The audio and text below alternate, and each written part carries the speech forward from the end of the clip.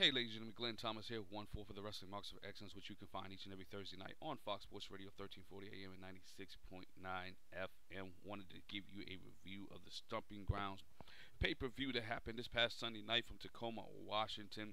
Uh, the WWE put on a pay per view, very decent pay per view that I might add.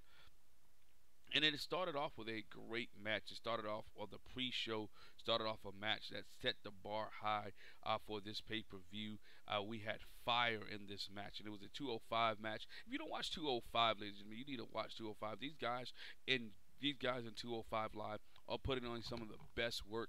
And it's one of those shows that most people don't watch because it's on the WWE uh, network, but you have to check it out. And the show, it started off with Drew Gulak, uh, Tozawa, and, ta- and taking on the champion Tony Nese. And this was back and forth match. We saw a lot of high spots uh, in this match. Uh, we saw Tony Nese and, and Tozawa put on a great show, good match there. But I love the fact that WWE let Drew Gulak go away from the gimmick that he was doing. He came in the black shorts. He came in the tights that was there, and Drew Gulak put on a good match, and he finally gets his just due. Let's be honest, Drew Gulak has been at 205 Live since the beginning, and he has been up for the title, lose the title. Change gimmick here, don't change gimmick there. But now it's his time, and Drew Gulak, ladies and gentlemen, is your new 205 champion. And good for Drew Gulak. Let's hope this ha- this run as 205 champion uh, serves him justice. Make sure that 205 championship with Drew Gulak, he doesn't end up like guys like. Uh, Murphy, who got to the main roster and has done nothing. Guys like Cedric Alexander, who's gotten to the main roster and uh, WWE hasn't used him. Let Drew Gulak stay down in 205 for WWE and let him continue to reign as the 205 champion. He is very entertaining. He's a good worker in the ring. Congratulations to Drew Gulak for being the new cruiserweight champion in 205 Live. Then we shifted to the main show of the evening. And what we saw on the main show, we shifted to the opening match. The opening match was a feud match between Becky Lynch and Lacey Evans. Now we've seen this match before between Becky Lynch and Lacey Evans, but this right here put they put on a decent match here. Even at the beginning of the show, I thought this was good placement to have Becky Lynch and Lacey Evans uh, fight at the beginning of the show. And we saw later on why Becky Lynch and Lacey Evans uh, fought at the beginning of the show. And Lacey Evans had to prove herself. Now there was a couple botches in the match, but overall this was a decent match. And at the end of the day, it was the man that prevailed. Uh, Becky Lynch gets the win over Lacey Evans to retain the Raw Women's Championship. The WWE is building Lacey Evans up. Eventually, she will become the Raw uh, Raw Women's Champion one day down the line. Uh, but she did put on a good performance. Her and Becky Lynch has some good chemistry uh, in the ring. Uh, but this wasn't a night for Lacey Evans, but it was the night for the man to get the win over Lacey Evans. Uh, then we moved on to what I thought was a surprising match uh, of the night. It was one of the surprising matches of the night, and that was Kevin Owens, Sami Zayn taking on Xavier Woods in Big E Langston. Uh, this match started off with Sami Zayn and Sami Zayn and Kevin Owens hitting some big, big moves on Xavier Woods. Oh, big moves on Xavier Woods, but Xavier Woods did not quit, did not give up. Uh, Xavier Woods end up prevailing, and, and Big E spent a lot of time on the ring apron thinking, you know, maybe Big E isn't 100% healthy, maybe Big E is still a little bit hurt. But when Big E got the hot tag, we saw that Big E was not hurt at all. He's moving and flying around the ring as if he's 100%. Uh, and we saw uh, Kevin Owens and Sami Zayn weather the storm of Big E and Sami Zayn and Kevin Owens pick up the win over New Day. What a big win there for Kevin Owens and Sami Zayn. Even though it was nothing online, was no tag team titles, it was just a straight up grudge match. Uh, this match had you uh, intrigued. This match had you emotionally invested into the match. And first half of WWE Stomping Grounds was good. I don't care what anyone says. Uh, in my opinion, the first half of WWE Stomping Ground was good. You, they was competing against the BET Awards and, and everything else that was going on. And most people really watched the WWE Stomping Ground and they saw a good match. Uh, once again, Sami Zayn and Kevin Owens prevailed. Be interested to see where this storyline goes uh, goes from here. Uh, will we still see more matches between Kevin Owens and, and Sami Zayn taking on the New Day? In this case, Xavier Woods and Kofi Kingston, and like uh, Xavier Woods, excuse me, and Big E.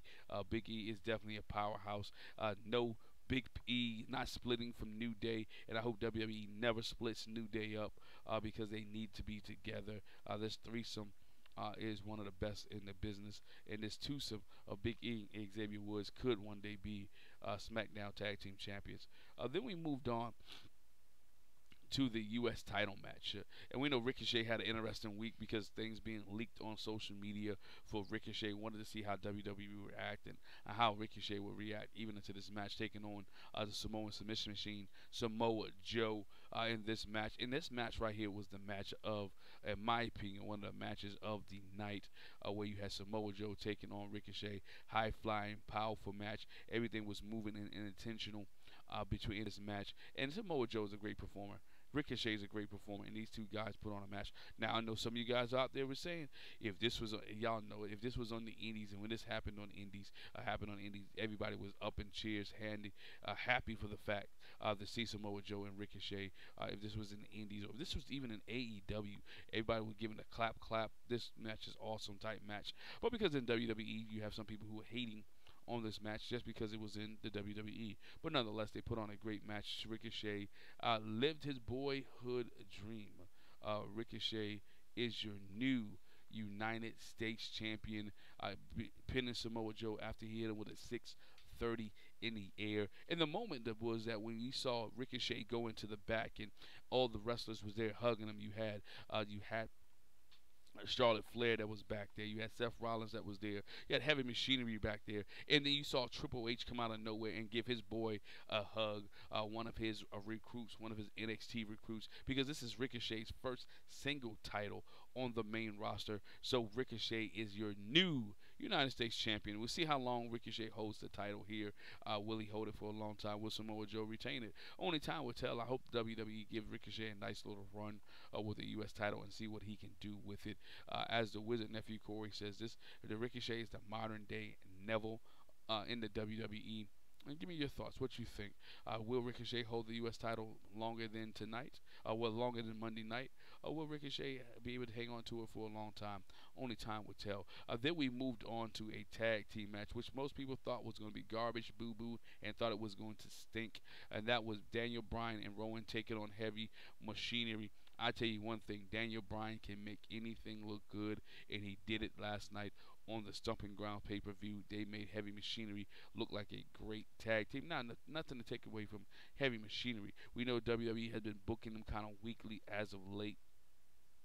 Uh, ever since they came up from NXT, we haven't really seen Heavy Machinery do anything except for comedy stuff uh, backstage. But last night on the Stomping Ground pay per view, uh, Heavy Machinery put on a good match with Daniel Bryan and Rowan. Uh, and almost had the opportunity to win the, the, SmackDown Tag Team Champions. The match was very entertaining, uh, to say the least.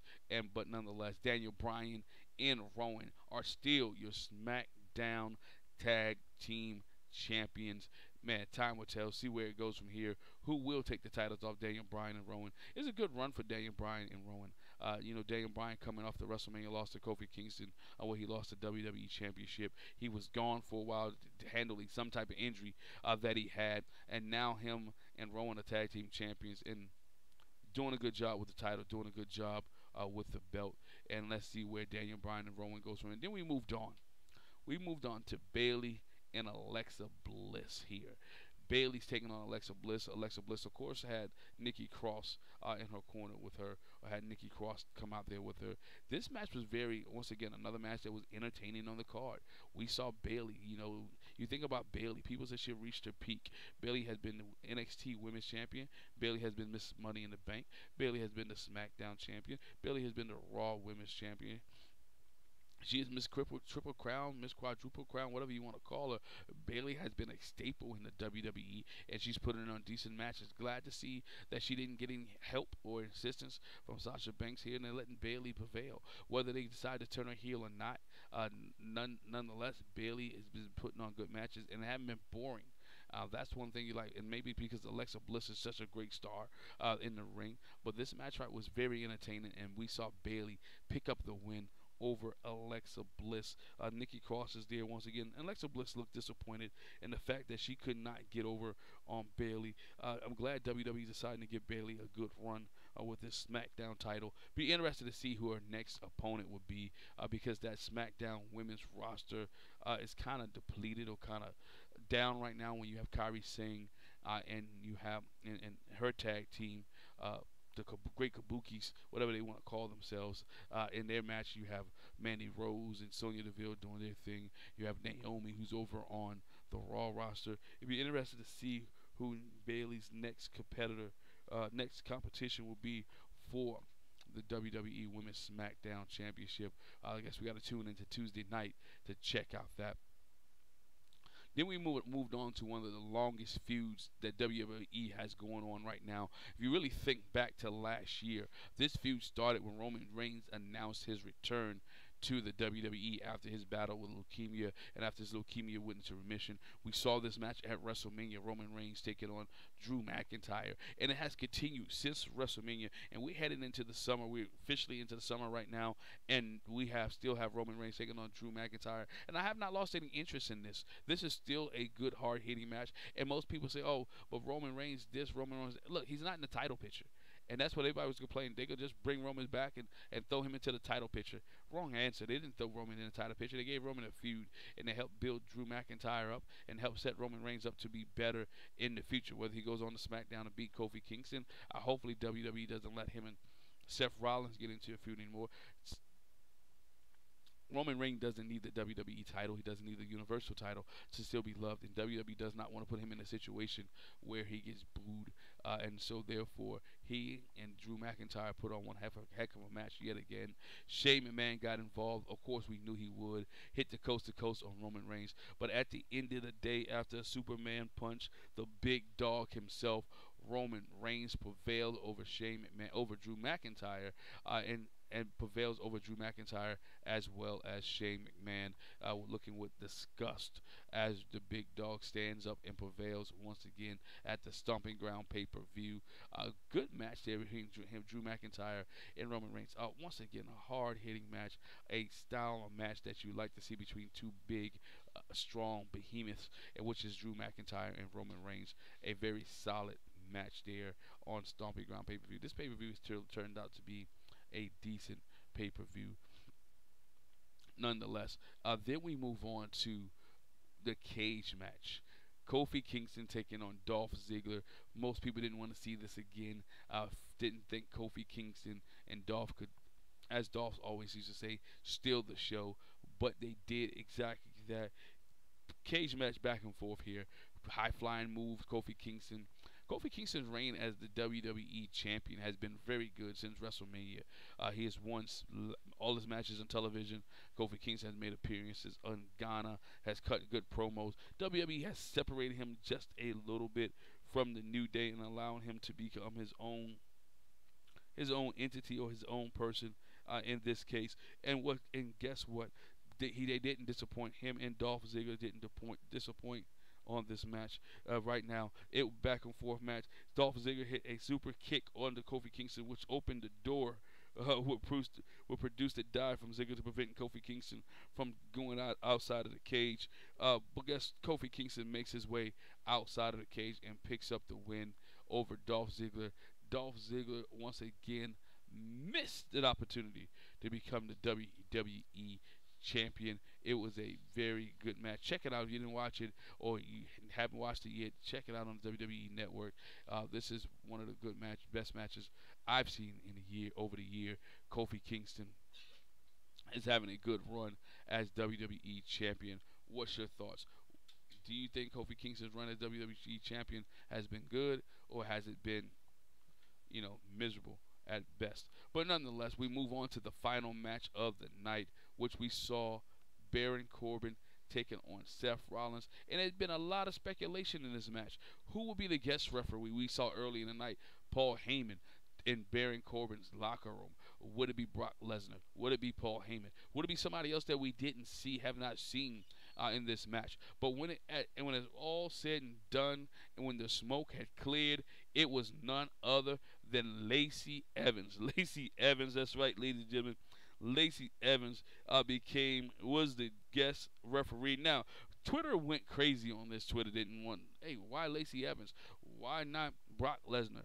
it, this is the Stomping Ground pay per view. Can't give you something big, that big, on the Stomping Ground pay per view, can they? I didn't think so. WWE, but nonetheless, basically, Lacey Evans was the referee. Didn't call it down the middle. You know, she was more against Seth Rollins uh, than anything else. The match went on, and Baron Corbin, love him or hate him, he has been one of the most consistent heels uh, in the WWE and he has been one of the most consistent heels. And he's been on top. He's in the main event of another pay per view. Um, you know, then we got Becky Lynch and we got Lacey Evans. Both of these women got involved uh, in this match, which allowed Seth Rollins to pick up the win. Seth Rollins picks up the win and st- is still, still your Universal Champion. Uh, with him, Becky Lynch closing out the show. WWE's trying to create these two as a power couple ever since they announced their relationship being official, or they're allowing people to know that they were in a relationship with each other. WWE's trying to play this a long while, so we'll probably see a tag team match somewhere down the line. Becky Lynch, Seth Rollins taking on Baron Corbin, Lacey Evans. Uh, we'll see how that pans out. Hopefully, we might even get if the WWE does it right, you might even get a Seth Rollins, Becky Lynch, maybe gets a Triple H and Stephanie McMahon if they decide to go that way. But WWE is using real life couples to bring some realism into their product. Stomping Ground pay per view overall, I would have to give it a a B minus if you were to look at it. Uh, give it a total grade as a B minus. It didn't.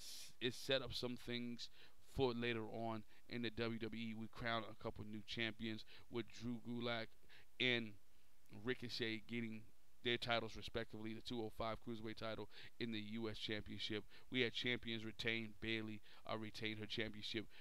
Kofi Kingston retained, as well as Seth Rollins retained his Universal Championship. We saw the Daniel Bryan and Rowan retain their SmackDown Tag Team titles. And, but we didn't see the Intercontinental Champion Finn Balor. Uh, so it was all in all WWE put on a good product with Stomping Ground. Uh, I had nothing bad to say about it. Let me know your comments. What do you think of the Stomping Ground pay per view? Make sure you leave a comment down below in the comment section. Uh, make sure you tune into the Wrestling Marks of Excellence uh, each and every Thursday night here on Fox Sports Radio 1340 AM and 96.9 FM. Also, make sure you subscribe to our other shows uh, that we have on YouTube. Make sure you subscribe to our YouTube videos, our podcast. Uh, once again, a lot of great information that you can check out. Uh, make sure you subscribe. Make sure you go to Google Play, subscribe. Make sure you subscribe on iTunes. Make sure you check us out on all social media. Make sure you go to WME Podcast on Twitter, WME Podcast on Instagram. And ladies and gentlemen, once again, thanks for joining me for the SmackDown, for the excuse me, for the Stomping Grounds review show. Once again, I'm Glen Thomas, and I'll catch you down the road.